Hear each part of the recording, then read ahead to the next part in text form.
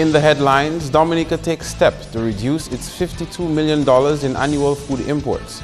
Public and private sector collaborate as Dominica evaluates its compliance with Financial Action Task Force recommendations against money laundering and terrorism financing, and OECS governments better equipped to source funds from the Green Climate Fund for disaster mitigation. I am Kenny Williams with the Channel 5 News. Details after this.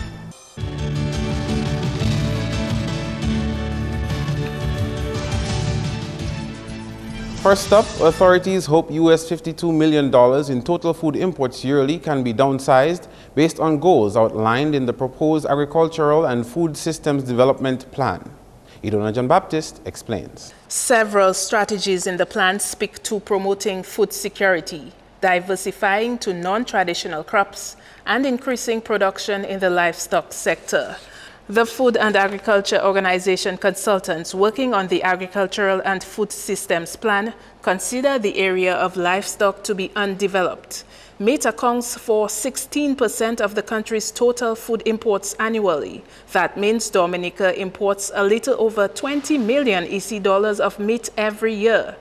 Data shows that from 2003 to 2013, chicken imports have increased by 165%. Frozen chicken make up 61% of total meat imports.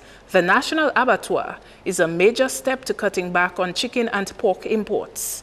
Based on statistics provided by the Statistical Division in 2015, $5,122,000 in edible vegetables and certain roots and tubers were imported while it cost $1,009,000 to import foods in the category of edible fruits and nuts.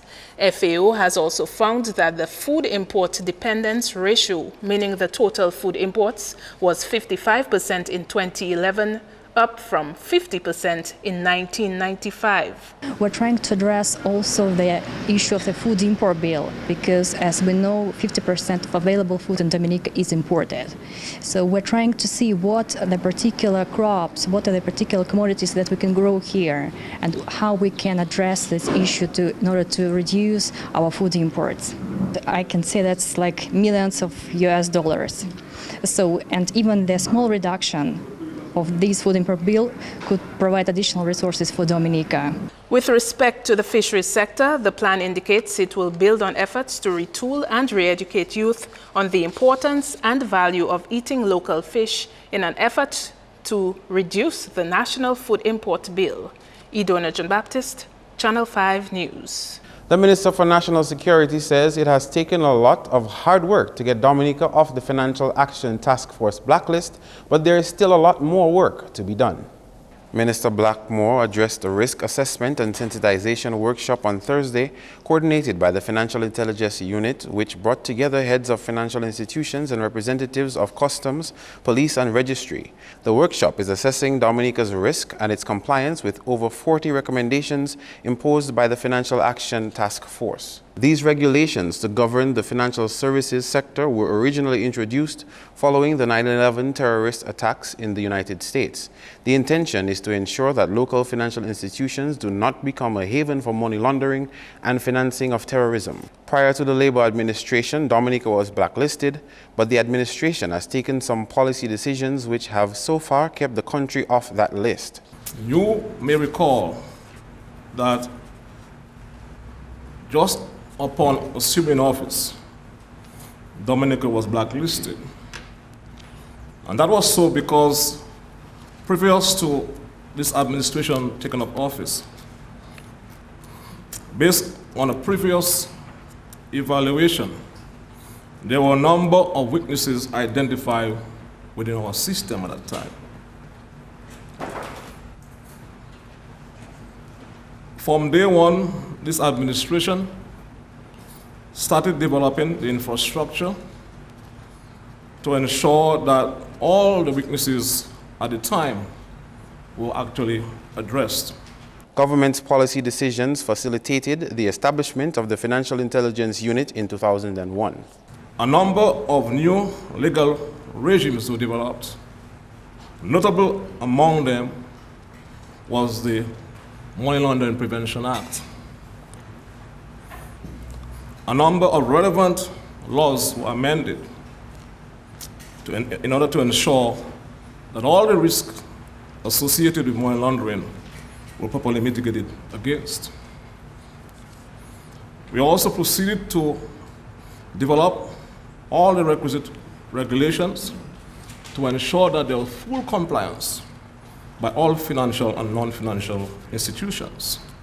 The minister encouraged customs, police registry, and the FIU to work collaboratively to address the risks associated with money laundering. This exercise is meant to identify any weaknesses in our financial system and to recommend approaches to further strengthen it. The FATF blacklist is what the Financial Action Task Force used to refer to a list of non-cooperative countries or territories which it perceived to be non-cooperative in the global fight against money laundering and terrorist financing. In more news, recommendations by the Financial Action Task Force aimed at preventing money laundering and terrorism financing in countries like Dominica have been modified to suit the jurisdiction. In the past, the recommendations were the same across the board, irrespective of the jurisdiction, but coordinator of a workshop on risk assessment and sensitization says the method of implementing those recommendations has changed.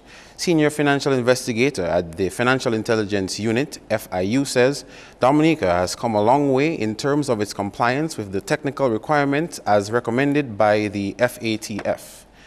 One of those requirements is the National Risk Assessment each jurisdiction must have a full appreciation and understanding of the money laundering and terrorism financing risks that are endemic to that jurisdiction.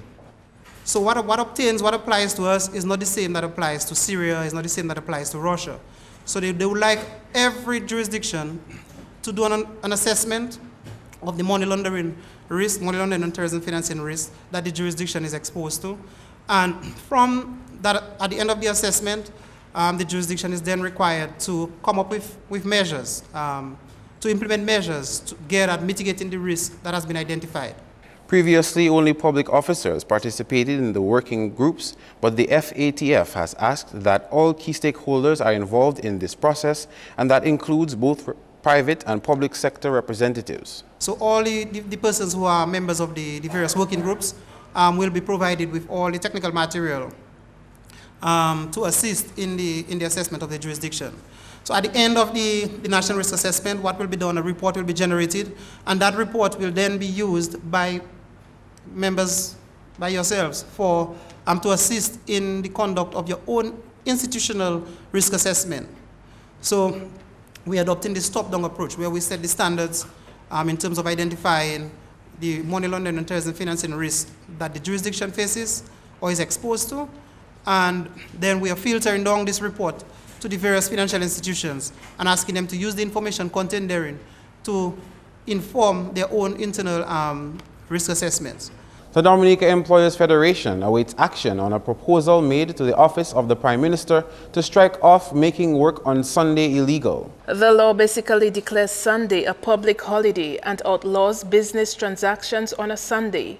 Even if it's not being enforced, Executive Director of the Employers Federation says it's not in line with a 21st century economy. Ashil Joseph says if the country wants to move to become a 24-7, 365-day economy, that law has to change. Recently, we have sent a bill to the Prime Minister. Traditionally, Employers Federation would make representation, we would send recommendation, but this time we take it a, a bit further. We've put all our recommendations in the form of a parliamentary bill.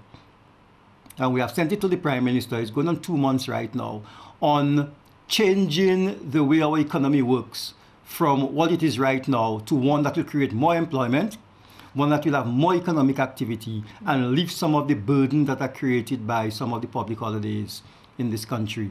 The expectation is that the economy will expand in areas where the restrictions exist. One of the ways Joseph sees that happening is in the provision of work. Currently, every business that is transacting on Sunday is done illegally. There's a law in this country that says a woman should not work beyond 10 p.m. We're asking for that to be lifted. We're also asking for the harmonization of the minimum age for work. In Dominica right now, we have several minimum ages. We have 15, we have 16, we have 18, and self-employment under the Dominica Social Security Act is 14. We're asking for harmonization, and we're also asking to lift the restriction on Sunday trading in Dominica. Look at the, the, the, the call centers going on very late. We have people working in the in the hotel industry. Some of them shut down at 11. It has been flouted because there is a demand for women working beyond those hours. It's just like the business is opening on Sunday. The businesses are not open on Sunday because they, they decide, let me open on Sunday. Patrons are demanding that they want to be able to shop almost 24 hours a day right now. The hierarchy of the DEF is aware that their proposal has been received and is optimistic that a response will come soon. We were hoping to see some traction even before uh, the national budget comes up. Mm-hmm. We're not asking for it to be implemented before the national budget, but we're hoping that some statement about that could be made in the Prime Minister's presentation on the national budget. But we've not heard from them yet. But we are hopeful that that will lead us to some sort of discussion. We know there's a law revision process in, in place right now under Mr. Ray Harris. We are hoping that that could be taken on board. Coming up, Orion Academy retains the Junior Tourism Minister title.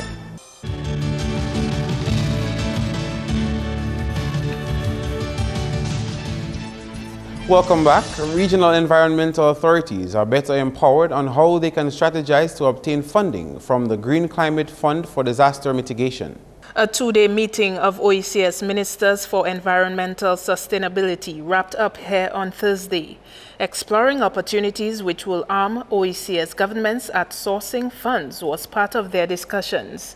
Governments have their eyes set on the Green Climate Fund, which supports climate resilient projects. The fund has identified five investment priorities, including enhancing resilience in small island developing states like Dominica. And Dominica is putting itself in the fast lane as it pursues climate change mitigation measures. The government has also adopted the low carbon climate resilient development strategy in 2012 2020, which outlines sectoral and national interventions to mitigate and adapt to the inevitable effects of climate change that will create employment by diversifying and growing our economy.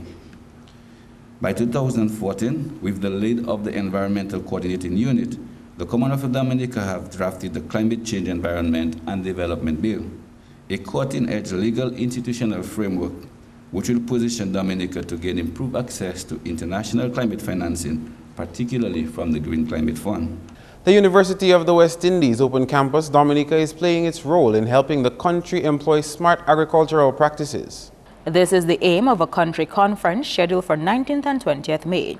The conference is being held under the theme Food for Thought, ensuring sustainability through food and nutrition security and resilience in the Nature Isle.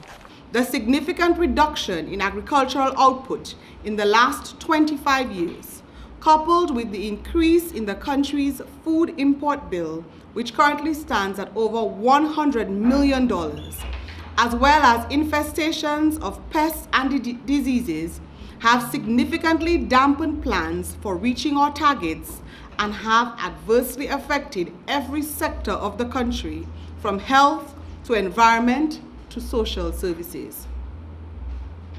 It is important to note that if this situation continues in Dominica, the country's food supply, the health of its people, and its hope of national development will be severely compromised in less than 10 years.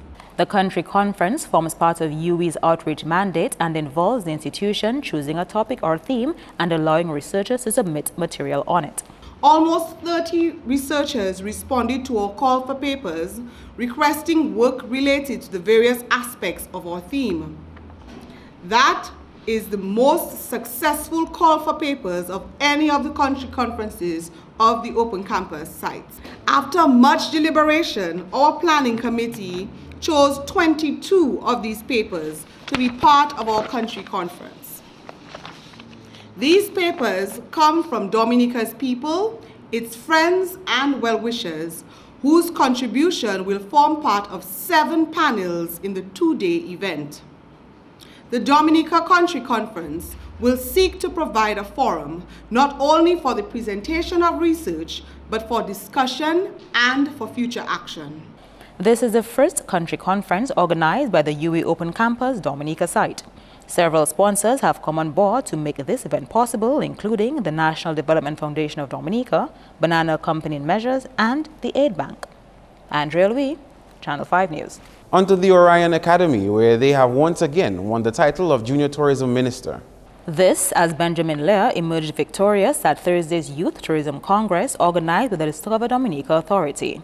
In 2015, Benjamin's sister, Emma, won the Junior Tourism Minister title for the Orion Academy. It feels good to know that I can live up to my sister's very, very large footsteps. I was really nervous. How was it like preparing for the Congress? It, it was tiring. Like, there was a lot of work involved. I think that a lot of the projects that were presented here should be put into place, not just mine. And working towards that is would be my first goal. The Youth Tourism Congress forms part of activities for Tourism Awareness Month, which is recognized in May. Lear will go on to represent Dominica at the Caribbean Tourism Organization's Regional Tourism Youth Congress in Barbados in September. The format was similar to the one that the CTO organizes. You have a general, there are three questions. Students have to prepare one question each, and then there is a mystery round where they get to present on a question that they have not seen or heard before.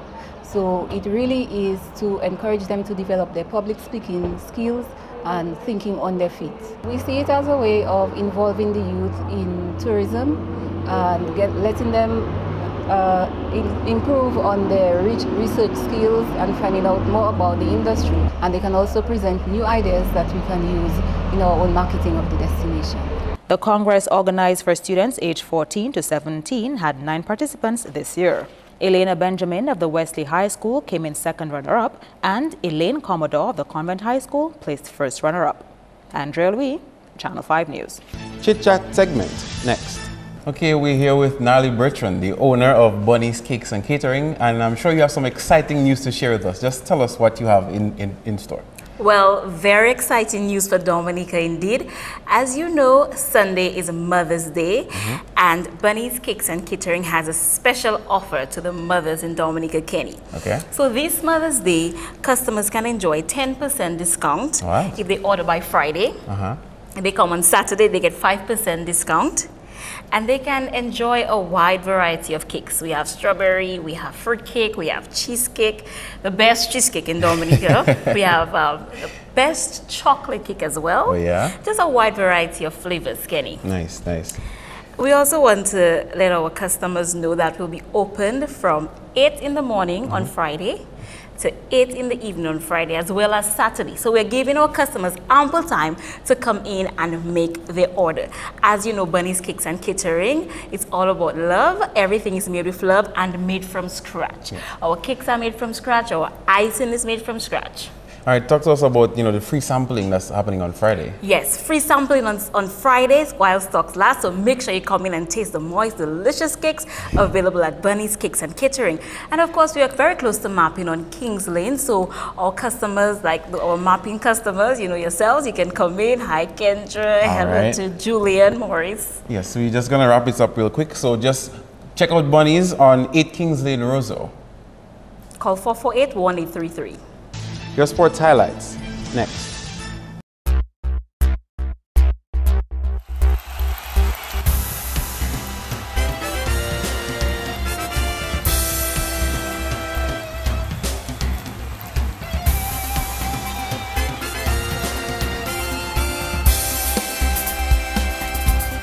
Hello everyone and thanks for joining us. First up in sports, Various sporting individuals and groups were recognized at the 10th Annual National Sports Award ceremony Wednesday night for their achievements in 2015. Topping those awards were the coveted titles of Sportsman and Woman of the Year. Those chosen for the titles each received $3,000 compliments Government of Dominica, PDF Caribbean Dominica Limited, and Dominica National Lotteries Commission. They also received handsets compliments Flow, a night for two at Fort Young Hotel, and gift baskets from Springfield Trading Limited. Tyrone Theophile won the male sports personality for his performance in cricket. Theophile was chosen over 2016 Olympic qualifier and national triple jumper Yordanis Garcia, as well as national footballer Randolph Peltier. The Sportsman of the Year racked up 700 runs in the regional season and had the second highest aggregate by a batsman in 2015. The Female Sports Personality of the Year went to Shani Angol for her performance in track and field. Angol contended with netballer Chanel St. Rose and Alicia Tit for performances in football. Well, I'm overwhelmed that I got this award. I've worked hard for it for the past years. But now that I've got it, I'm feeling proud of myself. I didn't feel like I was going to get it because I've been trying to get it for the, for the past three years. So this is a surprise for me. What's next is just more training, hard work. I'm, I'll, I am planning to represent Dominica in the next Olympics. Meantime, the other awardees for 2015 are as follows. Special Olympics, Claudius Shipley. Groundsman, Isaac Andre. Primary School Sports Teacher, Dario Frank. Secondary School Sports Teacher, Lisa James. Primary School, W.S. Stevens. Secondary School, Northeast Comprehensive. Sports Reporter, Gavin Richards. Umpire, Lennox Abraham. Coach, Mervyn Thomas. Club, Exodus Football Club. Sports Committee, Kalinago Sports Committee with a $500 check from the Minister for Sports. Sponsor, Big Edge Financial Express. Association, Dominica Football Association. Female Youth Athlete, Aliyah Prince with a $500 check from the Minister for Sports and male youth athlete Alec Athanas, also with a $500 check from the Minister for Sports. A special recognition award was given to Oswald Savrin for his contribution to the sports awards over the years. MVP awards were also given for athletics, basketball, boxing, bridge, cricket, domino, football, netball, rounders, softball cricket, table tennis, tennis, and volleyball. Still in sports, Sports Minister Justina Charles says maintenance of the stadium is of much concern since many organizations benefit from its use. Her comments come at an over $404,000 roof repair signing at the stadium. The most important for us now is to ensure that it is maintained for, uh, in an order that it can be appealing to the international world for international matches and other such, such activities.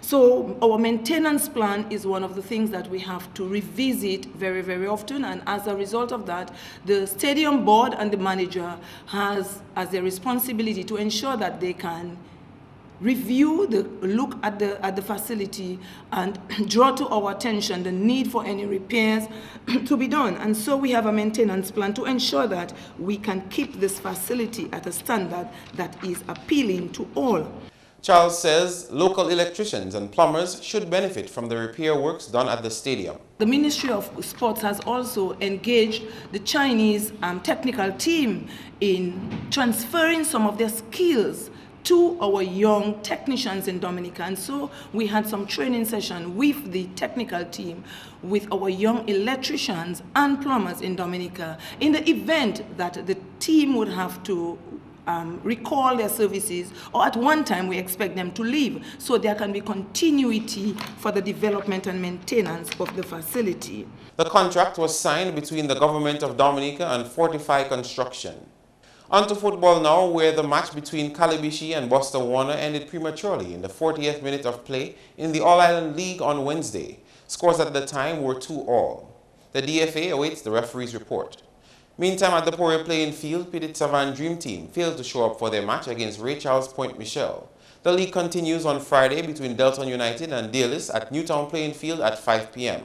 On the cricket scene, Rising Pune Super Giants defeated Delhi Daredevils by 7 wickets in the 33rd match of the 2016 Indian Premier League on Thursday.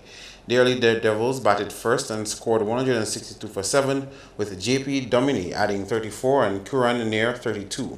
Super Giants in reply scored 166 for 3. A. Rahane scored 63 not out, while W.S. Khawaja chipped in with 30. That's all the time for sports. Join us next time.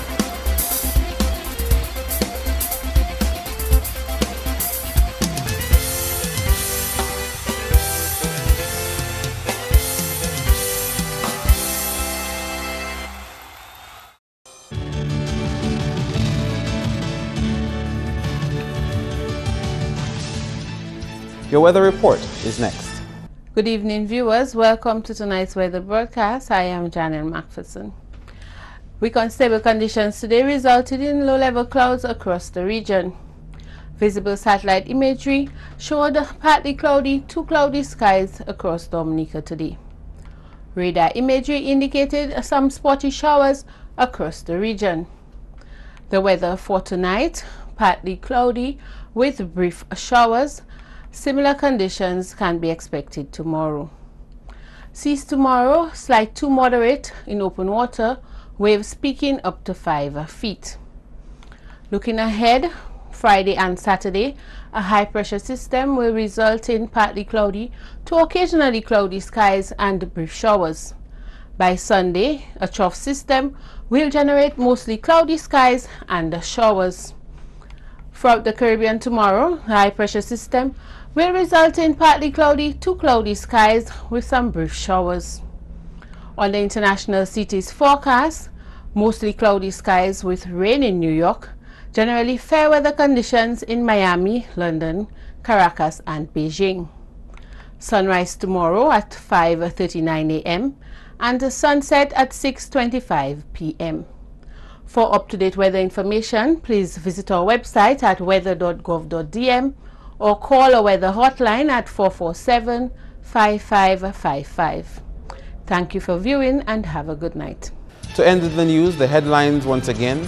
Dominica takes steps to reduce its $52 million in annual food imports.